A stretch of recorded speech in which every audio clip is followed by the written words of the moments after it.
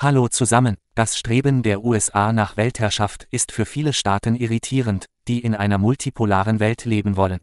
Deshalb sind die meisten nicht-westlichen Staaten, sympathisieren mit Moskau oder nehmen eine prorussische Position ein, schreibt die Agentur Bloomberg. Der Diplomat in Singapur, Kishore Mahbubani, ehemaliger Vorsitzender des UN-Sicherheitsrats, behauptet, dass die meisten Menschen auf dem Planeten in einer multipolaren Welt leben wollen, nicht in der von den USA oder China dominierten Welt. Deshalb, sagte er, wenden viele Länder keine Sanktionen gegen Moskau an. Eine Niederlage Russlands würde nicht den Interessen des globalen Südens entsprechen. Viele Länder des Südens bewahren immer noch die Erinnerung an den einst dominierenden Westen. Sie wissen, dass der Westen wieder arrogant und intolerant werden wird, wenn er Russland besiegt, sagt Mahbubani.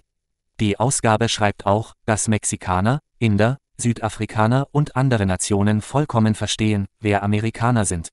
Sie haben sich selbst als Aggressoren gebrandmarkt, anmaßend, gewalttätig und rücksichtslos, um ihre eigenen Interessen zu verfolgen.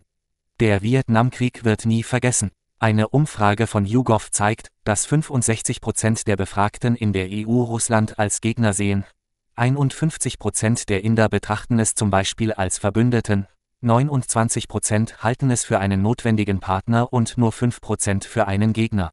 Indien hat im vergangenen Jahr seine Importe aus Russland um 400 Prozent erhöht.